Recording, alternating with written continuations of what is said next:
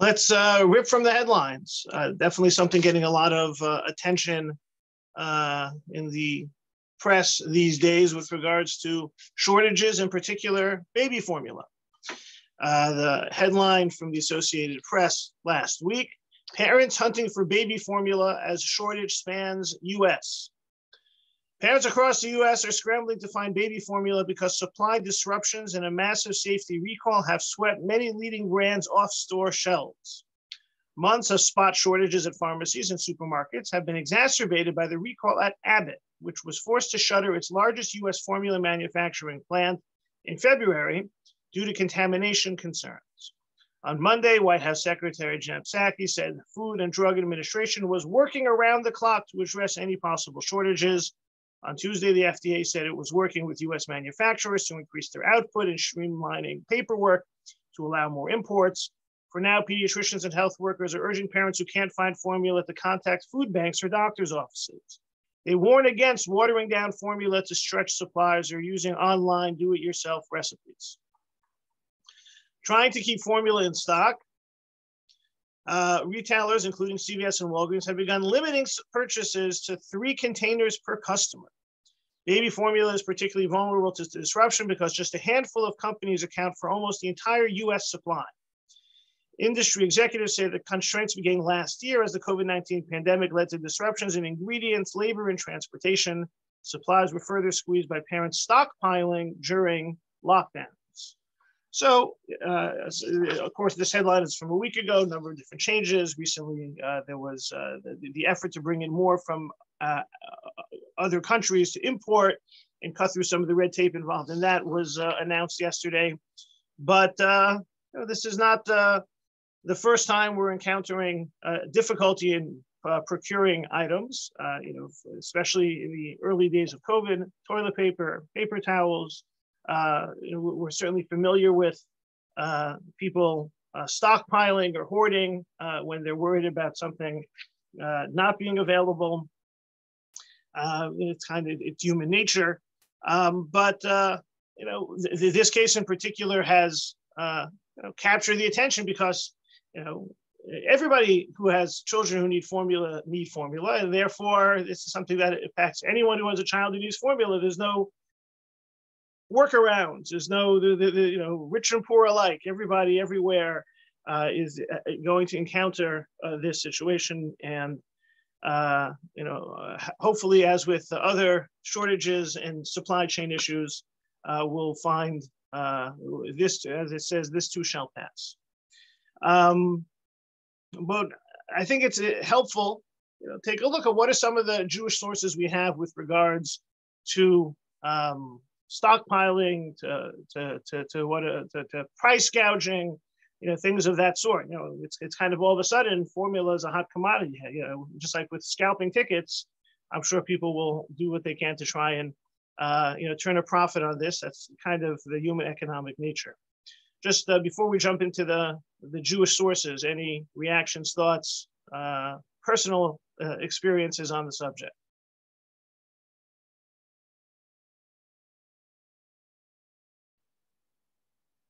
Okay, so um, you know, I was in addition to showing the, in addition to showing uh, the the headline, I was going to, uh, you know, uh, to, to to show a uh, clip, you know, from uh, you know our, our favorite. Uh, our favorite uh, comedian Larry David uh, from uh, Curb Your Curb Your Enthusiasm, uh, season 11, episode one, about the COVID hoarder. Um, it's a little early in the morning to, uh, for that kind of salty language. Feel free to uh, Google it and uh, look at it yourselves. But you know, this this kind of the the uh, the outrage when people take advantage uh, of this and are you know are found to be the ones, whether it be withholding the product or hoarding the product. And I leave it for your personal perusal and entertainment.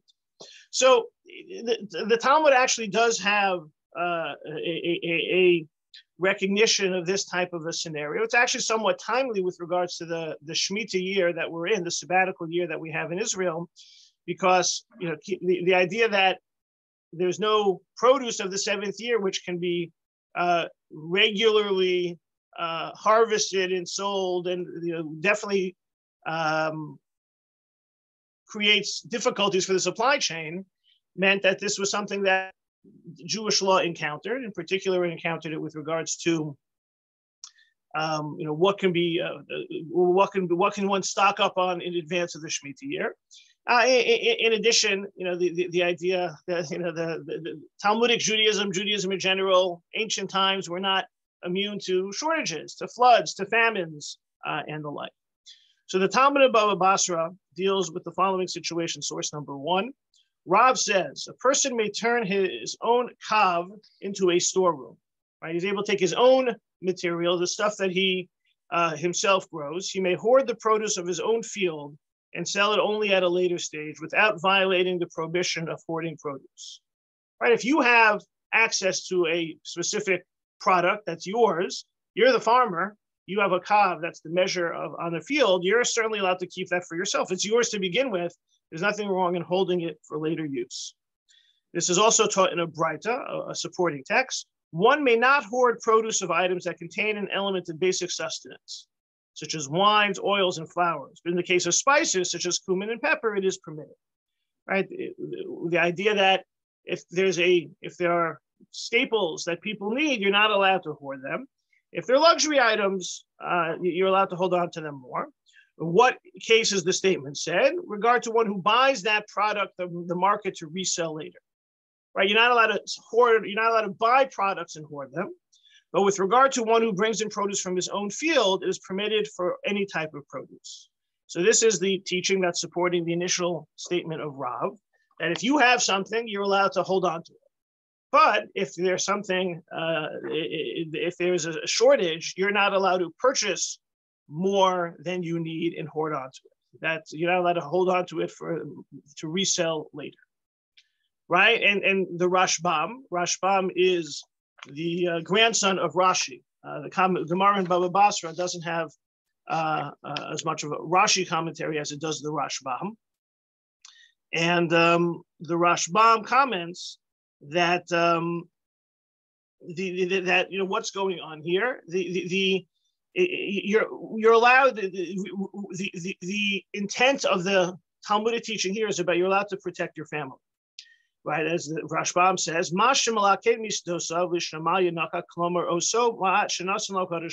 that which God has given to him, you're allowed to keep. You're not allowed to atzar otzar, not the ayin, but with an aleph. You're not allowed to, you're not allowed to go to the store and buy out the entire stockpile and keep it for yourself. You're certainly allowed to support your family. You're allowed to it's really about family protection. So if you have a product you can maintain it for the family. You're allowed to buy during times of shortage. You're not allowed to stock you're not allowed to hoard but you're always allowed to take care of your family. That was the the, the, the first teaching in baba batra 90b and the talmud continues with a discussion uh, as we, we prefaced before the idea of a, of a shemitah year um, because remember, there's no, nothing really growing the seventh year. Then you have to wait to the eighth year, and you know Shemitah, which is timely. It's uh, definitely it's uh, our weekly parsha that we're reading uh, this Shabbos, Parshas Bahar, talks about Shemitah. You know that created a, a, a tremendous strain and stress on farmers, and maybe something we'll talk about uh, in an upcoming uh, class about sh- present day Shemitah. T- source number three is permitted for a person to for a person to hoard produce in Eretz Yisrael for these three years the year preceding the sabbatical year, the sabbatical year, and the year that follows the sabbatical year. Because the land lies fallow during the seventh year, the sabbatical year, and the produce of the sixth must last through these three years until the end of the eighth year. Okay, so there's a there, there, there, there's permissible hoarding because of the fact there's going to be a shortage. Again, the rules that we saw earlier would apply if it's yours. And in years of drought, one may not hoard even a kav of carobs because he thereby brings a curse on the market prices. As everyone is fearful of selling, and even a small fluctuation in supply can cause a significant price, rise in prices. Right? If it's a difficult year, if there's a shortage because of a drought, you can't hoard because hoarding is going to impact. Um, it's going to impact uh, the prices. It's going to lead to price gouging. Prices will go up. Everyone is fearful uh, and therefore one is not allowed to take advantage of that situation. Now, The uh, Rashbam here uh, has a comment, and it's a comment that's not uh, based on any specific language that we just read. This is a little bit of a, of a parallel idea that usually, you know, Rashi or Rashbam will comment on the text or the language of the Gemara. Sometimes Rashi or Rashbam has a different version of the Gemara in front of them, and it's called in it's called in Aramaic the girsa, the the specific text that they have has uh, can be sometimes be different. In this case, the Rashbam seems to have a different text of the tractate Bava Batra than we're using.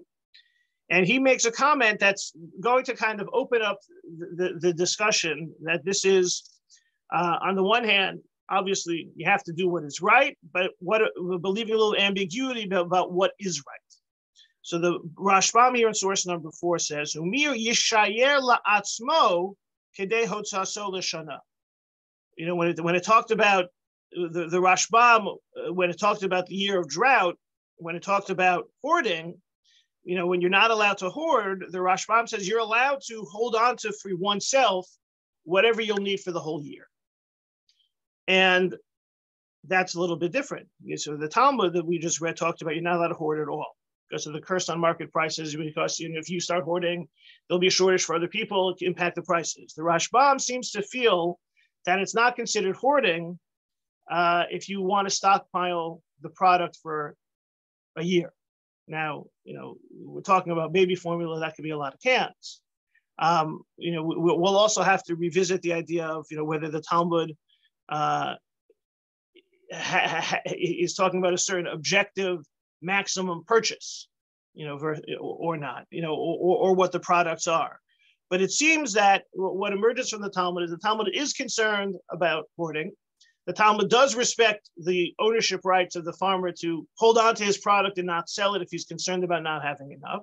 The Talmud is concerned about the consumer buying too much of a, of a product that uh, may be scarce because of what that does uh, to the market um, uh, and what that does to the overall confidence of the consumers and everything. And we have to try and understand but how much is a person allowed to hold on for their own personal needs? And so far the only source we've seen is that you can always have on hand a year's worth of product. Now, having on hand a year's worth of product is probably not something that many of us think of all that often. Um, you know you know covid toilet paper aside right we don't generally stock up on things a year in advance. Um, and we'll have to and we'll see if that plays out in the way that this is applied uh, in Jewish law.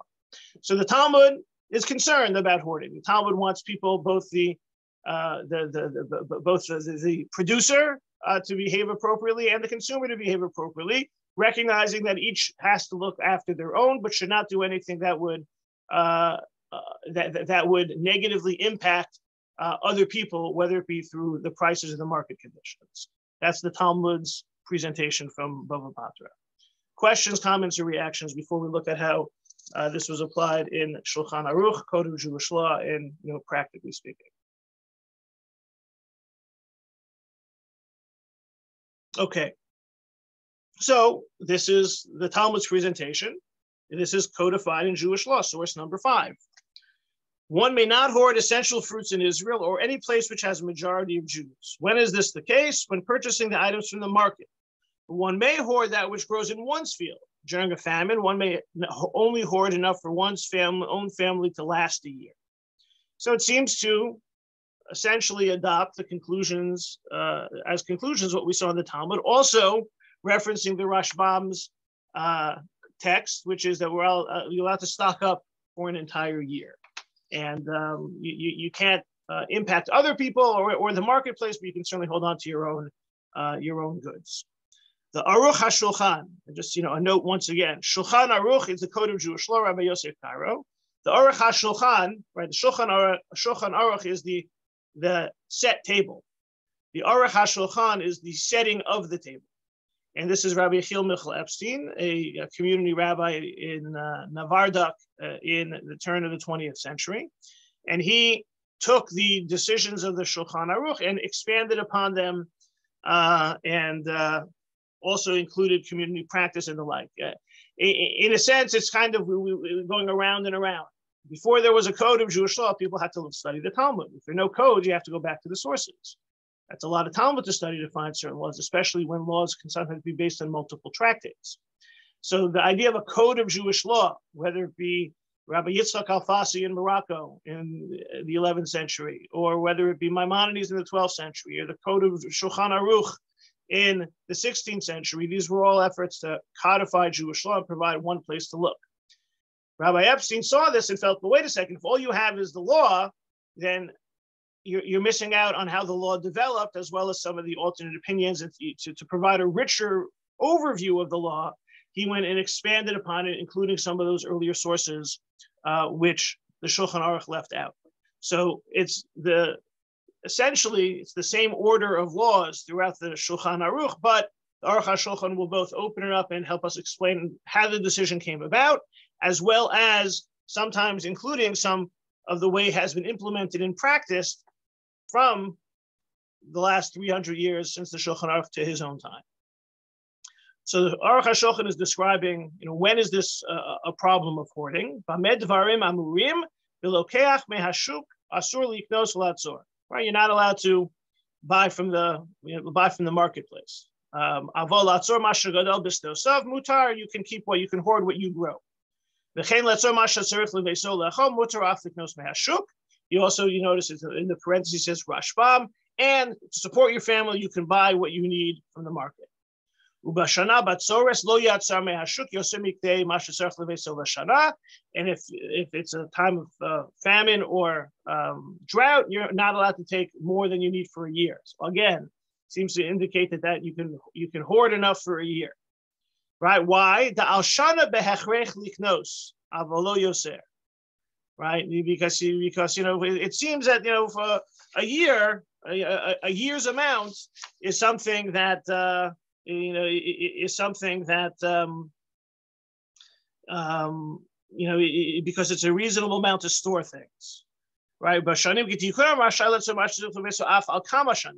In general, if there's no shortage of, of supplies, then you can certainly collect and hoard for multiple years right? So there seems to be an, an, assumption that some of these products that we're talking about hoarding are things which have a lot of uh, a lot of significant shelf life, at least in the perspective of uh, you know Rabbi Chil Michal Epstein in the Aruch HaShulchan, right? He's worried about hoarding. He seems to it seems to be practice that you can. It's reasonable to buy. Uh, it seems like everyone's you know buying enough of something for a, a year, um, but you know, and that's why a year is considered a year is considered uh, almost minimizing one's purchases. If you buy just for a year, you haven't. If you buy just for a year, you're not really buying that much because some things you'll buy to keep stock up for multiple years.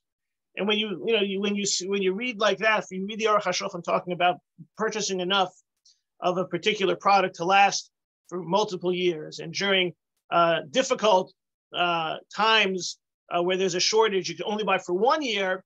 You know, you have to imagine what this looks like, right? You know, I don't know where everyone here shops, but you know, you go to Costco, you you, you fill up a you, you fill up a shopping cart, you're going back, a, you know, a month later.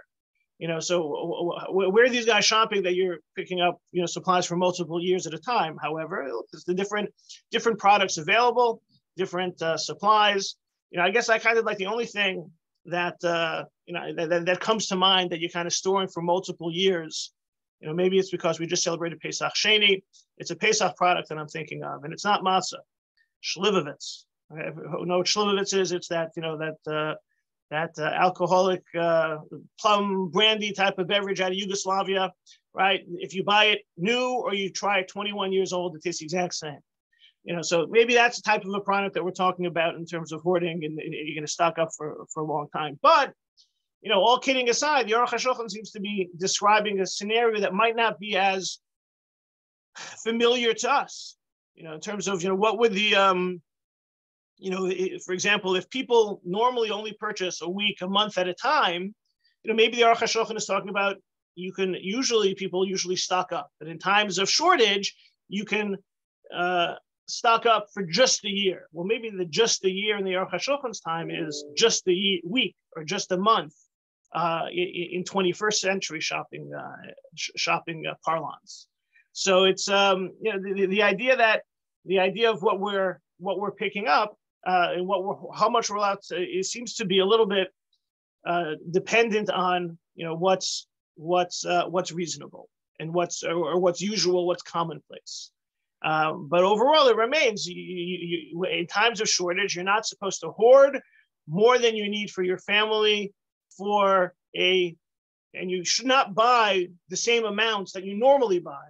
You should buy less, but enough that gives you an immediate need, but you shouldn't be trying to, you know, plan ahead. That seems to emerge from the Aruch HaShulchan's understanding of, of these sources and trying to take the Talmud's more agrarian society and the shopping habits of the previous centuries into at least the turn of the 20th century. Uh, questions or comments? Rabbi, I need some advice. Can you hear me? You, baby, you, you, you need to buy baby formula? Yes. No, uh, seriously, it's a serious question. Yeah. Gas, I, I see gasoline prices are going higher and higher very rapidly. I want to hoard gasoline.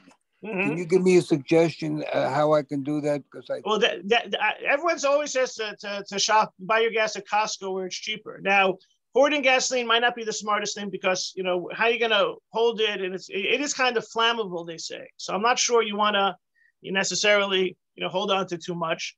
But, I'm willing to take the risk of the inflammable. I want to I want to keep it at current price. I think it's going uh, price it could be going to ten dollars a gallon. Well, so, I, I, hope I, wanna... I, I, I would say you know you know you know part of when you're asking the question now makes me think that you know put pretty much we have to you know support policies that will allow for the optimal use of you know current uh, oil and gas supplies in America. I don't know. Maybe it's you know we maybe this is only settled at the ballot box. I don't know, but uh, that's as political as I'll get, but only because you asked the question. Well, and I know should, how apolitical I, you I are. I think we should mandate everybody driving Teslas. Okay, either I, was, I thought you maybe bicycles,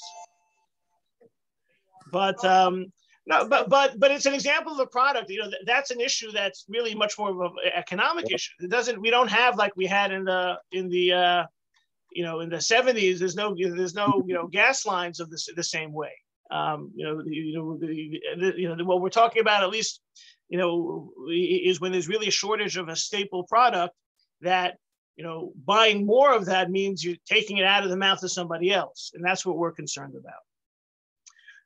At the same time, and you know, just talk about you know, uh, uh, obviously, you know, taking it out of someone's mouth for yourself, you know, is a certain is an instinct of self-preservation it just it's interesting to note that the Shulchan Aruch uses the language about it. It depends if this is a place where there, there are a majority of Jews, and you know the, some of the commentaries picked up on you know what's going on here. Is this you know is this another example of where you know the, the Talmud and Jewish law really only focused on the Jews because Jews were only living amongst Jews and they didn't have any experience with non-Jews, or is there something else over here?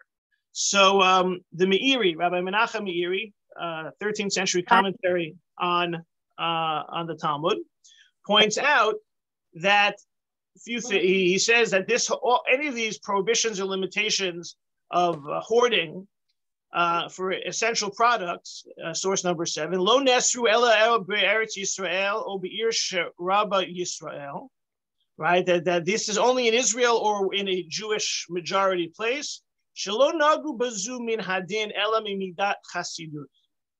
There really are no laws here. This is not about stealing. This is not about, uh, a, a, a, we, we can't be very specific. This is that thou shalt not steal. And this isn't even Uh, uh, uh, about a legal attitude. This is midat chasidut. This is ethics. This is values right? On some level, and you know, maybe we, you know, if we we we we revisit the sources that we've seen so far from, you know, from his perspective, you know, it's talking about you're allowed to hoard your own product. You're not allowed to buy out the shelves in the store. He, you know, what? How can you hoard your own product if other people need something? And so the, the Meiri says that the, the fact that this is introduced to us that this is a Jewish environment, or we're talking about mostly Jewish people who are the consumers uh, in this situation, or even the producers in this situation, is because in our own self-contained community, we can encourage each other to act properly, even if it's beyond the letter of the law. The Meiri feels that Jewish law doesn't mandate, dictate, obligate when it comes to these situations, but it is human nature that we're trying to bring out the best in human nature to do the right thing, and that's not so simple. Um, and therefore, um, you know, in a situation where the Jews are living amongst themselves, they're more, uh, you know, everyone is kind of responsible or accountable to one another.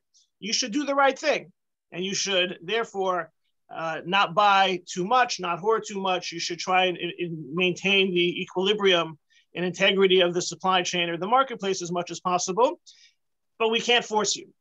You know, we can only encourage you to do the right thing. It's it's kind of an extension of uh, you know the asita hayashar v'hatov, do what's right and good, is repeated numerous times in the book of Devarim. It's not a mitzvah, but we expect the people to act uh, in the appropriate fashion. Similarly, the um, the, uh, the, the Aruch also recognizes this because he talks about this being in the place at source number eight, not not uh, hoarding essential items in Israel and most places, in all places where there's majority Jews. Because you don't want the price to go up. What about where there's non-Jews? Makom sherubo akum, and when there's mostly non-Jews, kivin shelo yatzisu lanu, lesser Yisrael. He said, look, if the Jews are in the minority and the non Jews are setting the economic policy, they're not going to follow Jewish law. And so, therefore, why should the Jews be at a disadvantage? If everyone else is hoarding, why shouldn't the Jews be able to hoard too? A kind of very uh, uh, realpolitik uh, type of an approach. Look, Jews are not supposed to hoard, but if everybody's hoarding, uh, why should the Jew be the one left holding an empty basket? And it's kind of uh, you know, you know, a kind of a, you know, the Meiri and the Aruch HaShulchan, I think, are sort of two sides of the same coin uh, in this type of a scenario. Jewish law tells us not to steal. Jewish law has certain uh, recommendations or approaches or uh, uh aspirations for how this will play out, but it doesn't have a specific legal obligation. When we're all living in a within a community where we are accountable to one another because it's being, you know, it's the, it's the, you know, it's, it's a more closed Jewish community or we're in the overall majority, then you have to follow, then you should follow the aspirational value. But when we're not in charge and it's kind of ish hayashar be'inav yaseh, every man for themselves, as the Aruch HaShulchan points out, you know, how can we tell the Jews not to hoard if everybody else is as well? Uh, just to, to sum up, to, to conclude the, the, the, legal analysis of this, uh, source number nine from Rabbi Dr. Itamar Warhaftig, uh, an Israeli rabbi uh, and economist. The prohibition of hoarding is a means of combating price rises of essential items. The prohibition applies to the merchant to the consumer. The producer is not obligated to sell his product immediately. The consumer is permitted to stock up for home use, and there's a special suspension of the prohibition on the eve of the sabbatical year. Right? He's kind of he's writing in you know, 21st century uh, summary of the, the, subject that we've studied. During a time of shortages, such as drought, even hoarding for household use is forbidden because of the resulting difficulty to the needy. The private consumer, on the other hand, is apparently not prevented from buying as much as he can use even a year in advance. There are, however, two points to be considered. First, in ancient times, people did not shop frequently. It was quite normal to buy large amounts of basic items sufficient for several months. Today, when the housewife shops, you know, I guess in, in his in his house the wife shop, but or the husband several times a week. Why should a consumer be permitted to hold, hoard a year's supply of oil? His motivation is not to ensure the availability in another month, but to profit. Really seeing this in, in, in, in very much economic terms and also recognizing the fact that uh, we, we, shop far more frequently and therefore maybe we have more responsibility not to hoard because product will be usually more readily available. Obviously, in the case of a shortage, uh, even more so, we should buy what we need and not take more uh, in the hopes of uh, not, uh, uh, not, other people not being able to, to get as well. Uh, questions, comments, reactions before we flip over to another maybe rubric of understanding that's not necessarily the financial, but from a from an ethical, moral perspective, and some of the sources on that. Rabbi Taviva. Hi. Hi. Um, a few questions.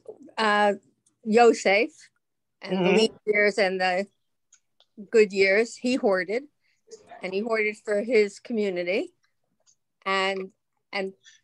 Well, then, that was that was that was his first off. That was his produce, right? That he was he was collect. It was the, the it was the government. The government was holding on to its own exactly. And, and but also not there was also no shortage. They were they, they were keeping the excess. they were planning on a shortage. Right. So, so I, I, I, see that more the that's more the rubric of F, you know, proper okay. product planning. So from what I know about the baby formula, thank God we had two a grandchild and a great grandchild born recently, and my grandchild in California. All of a sudden, my daughter calls me and she goes, "Ma, I can't get formula." And I went searching all over and found some here and some there. Mm-hmm. And I don't know if you know, but Abbott changed the size by government order of their cans to a smaller size to prevent hoardage. Mm-hmm. ridiculous. Uh, but the point is that they closed the plant and they didn't plan for something. The government didn't plan what what they're going to do. So right. we're all what you react to is there may not be left. And then I'm going to go to Mun. So our natural tendency, I guess, is to take when you see it because it might not be there tomorrow. Right. And we right. were told by, by Hashem not to do that. You know, Shabbos, don't worry, there'll be again. Or take two, it won't rot, or whatever the story is, because it's our tendency to protect basic with basic needs to protect ourselves. So I'm like a little bit confused with all the commentaries because I don't know where the ones you chose, because I don't think it covers any of that thinking. Well, I think that part of it, I think that the, uh, I think that the, the Meiri is capturing your point, is that, you know, people, Jewish law does not mandate on things like this because human nature takes over. We can aspire to everybody we can aspire to everything working out properly, whether it's the regulations working out properly, and there's a whole conversation why they shut the plant, and why don't they just do the recall of the product? And that's a separate issue. But aspirationally speaking, we hope that people will, will that, that both the market and the, response to the individual will work out well. I think it's hoarding so as not to gouge as opposed to hoarding uh, you. Correct. Well, I, look, I think that because from a from a technical legal perspective, that you know again looking through the eyes of the Meiri, that's all that Jewish law has a mechanism of controlling. And even that mechanism of control is only when it is empowered to do so. And you know, once again, it therefore uh, it, it, therefore you know falls short of actual uh, maintaining the integrity of the marketplace because it doesn't have a it doesn't have a way of you know it doesn't have a way of saying do this and don't do that. It's kind of you know the, the, the, the that you know the, many are looking for when it comes to halachic behavior for specific do's and don'ts. That fall, that that definitely falls short here because human nature in, in, intervenes, and so the Meiri I think is trying to springboard this into a different discussion of proper behavior because there are a lot of things we can't control, the government regulations, uh, as well as uh, you know, as well as on the economic side, we should be doing the right thing. But how does that work in terms of hoarding? I think your your, your Mun example uh, precedent is is exactly the way people respond even when they know they'll have enough, uh, they still hoard because you know that's the, the, the, that's you know there's always the concern is will that really be the case? You know, some would say that look, you know, they were right to, to, to have that type of characteristic because then it was guaranteed by God. But what about a time when it's not? You need to be able to have uh, you need to be able to survive when you don't have what you need. And the press added to the fear mongering, of course. So, correct. You know, so I think that for, for me, you know, for, for, for me, the Meiri's comment that this is not law, but ethics, morals, values, as well as the Aruch HaShulchan recognizing the realpolitik of this all. That, you know, we're not going to tell Jews to be more, uh, to, to, to, be, to be more sensitive than non-Jews who are hoarding, means we should move this into a little bit of a different category. And the Sheiltot of Rav Achai begins to create that category, which will lead us into, a, a, I think, the category of uh, a, a, meta value rather than just a specific law. The Sheiltos, when it talks about this hoarding, and it's, it's similar to, to the Talmudic text, but says in times of famine, person may not utilize what he has, saying, I will eat and drink as usual. Right? When this, you know, this dates back to also Yosef and, and Yaakov, and the Midrash says that yeah, Jacob had food, but instead he told his uh, sons to go down and get because he had to appear like everyone else as if he was also in need. Instead, he must be careful and struggle along with everyone else. The rabbi said, when the community is in trouble, an individual may not eat and drink and I'll be all right. One who does this is visited by two angels who put their hands on the person's head and say, This person who's separated from the community will not see the consolation of the community. Rabbi Yehuda said the name of Rav, one who was hungry during years of famine, is saved from an unusual death as a reward for casting his lot with the community. This idea that the, the, the, idea of we're all in this together uh, and not to you know stand on top of one another to save ourselves and push the other person down is uh, the approach that the Rav Achai is invoking. This idea that it's in the fact that he talks about angels giving blessing. This is not practical speaking. This is not practical this is aspirational value.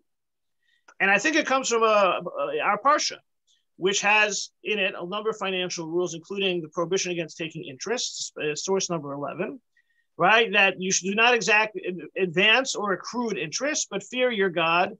Let your kin live by your side as such. Right? The whole idea of not charging interest is part of a we want everyone has to everyone has to get along. Everyone is we're, we're all in this together. And we're not going to talk about you know, workarounds to interest. We're not going to talk about Jewish banking and the like. I want to focus on the second half of that verse. A lot of a, a lot of the rules of the marketplace within Judaism are motivated by the We're all in this together. We all need to try and survive, and we need to help facilitate other people surviving. And I think this is expressed in uh, Gemara and Bava Metzia, which seems to have the opposite conclusion. This is a famous story uh, uh, of uh, this is a famous story of the uh, two people who are in the desert with one jug of water. Right, so this is Rabbi Yochanan's. What, do, what does he do with our pasuk? Your brother shall live with you. He requires this for what I would just taught in the Braisa. If two people were walking on a desolate path and there was a jug of water in the possession of one of them, and the situation was such that if both drink from the jug, both will die, as there's not enough water. But if only one of them drinks, he will reach a settled area. There's a dispute as to the halacha. Ben Petura taught it's preferable that both of them drink and die, and let neither one of them see the death of the other.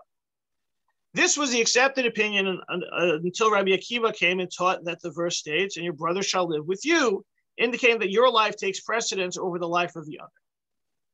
So many, uh, uh, when we learn this piece of uh, this teaching of the Talmud, what stands out is that this is about chayecha kodmim, right? Your life takes precedence over someone else's life, and therefore, um, th- therefore, you drink the water, and even if the other person has to die. I, I think that we can we, we, we have to dig a little bit more deeply here, and we see two things. Both Ben Petura and Rabbi Akiva are focusing on the pasuk v'cheachicha imach. Right for Ben Petura, right? You you you you you you you let your brother live with you means you know you can't do something that causes him to die. He can't something cause something that causes you to die. Therefore, you both die, right? You both can't live, so you both die, right? Rabbi Akiva turns the focus on v'cheyachicha imach, right? Your brother shall live with you, right? He puts the emphasis on you have to live for your brother to live with you, so you have to live and you win. And so they're, they're both using this verse.